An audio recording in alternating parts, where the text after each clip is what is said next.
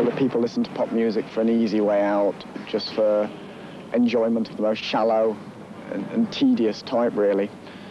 The, the problem with Western music is, contemporary Western music, is that it offers, offers nothing except shallow pleasure, um, petty enjoyment, and the promise of dancing the night away and drinking, fucking, picking people up, all completely pointless things to do.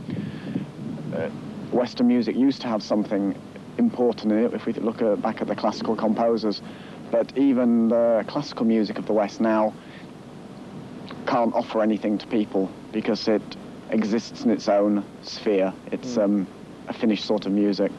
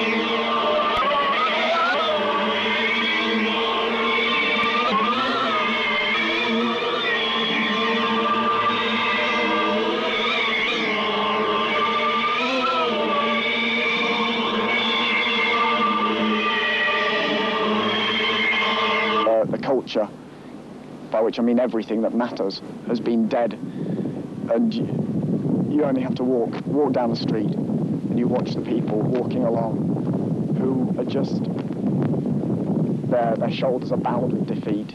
They realize that they're living completely meaningless lives and that there's nothing, nothing for them to look forward to.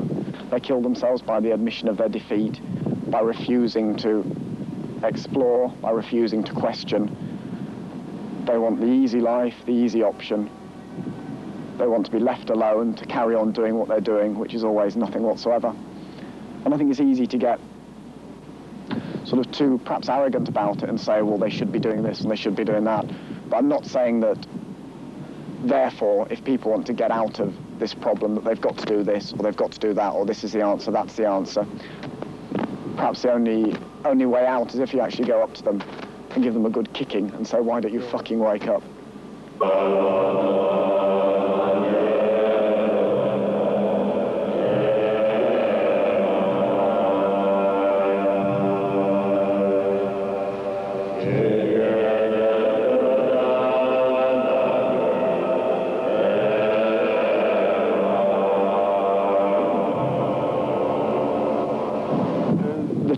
Powerful musics of the world don't have to offer anything. They don't have to offer imagery, ideas. They just have to exist. They have to put forward the sound that they make, and that is enough in itself. They don't have to go on and on about how strange they are, how weird this is, how progressive they are, how different they are investigating things which have never been told of before. But the West doesn't realize that there's a whole culture that is was thousands of years old when we were still running around with mud on our faces. And we look at these cultures and sneer at them, but they have everything to offer, and we've got nothing left except our the corpses of an entire civilization. Yeah.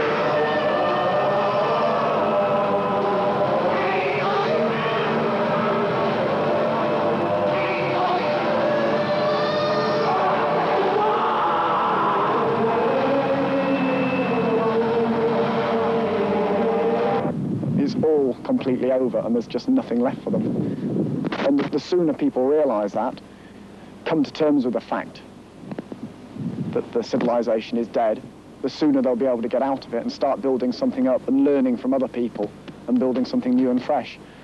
But as long as people are crippled by the illusion that they're part of something important, something which has died a long time ago, there's just no hope for them. But, but they're the only people that can do anything about it. Yeah. So that's why you were leaving for India end of this summer. Yeah, basically it's... I was born in Asia anyway, and having lived in England and a couple of other places in Europe, although it's pleasant and easy, there's no challenge. And I think that the closer you are to corruption, the quicker you get corrupted yourself. So by living in a culture which is morally and spiritually corrupt, you start to come like that yourself. You know, you catch the disease very easier, and it yeah. becomes very easy to sit back. Yeah, so, I mean, for me, that's what I'm going to do. I go to India to study Tibetan language and Tibetan religion. Tibetan medicine. But obviously, it's not saying that this is what everybody should do. It's just, yeah. I suppose, it's just my, my, pers- yeah, it's my personal way of running away from it. Because fuck knows, I can't take it anymore.